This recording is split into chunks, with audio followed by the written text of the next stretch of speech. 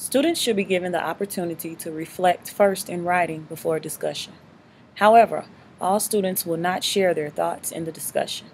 Everybody Writes prepares teachers for beginning the discussion while circulating the room and reading student responses before the discu- discussion starts. Cold calling works in this setting because you know, for the most part, everyone is prepared.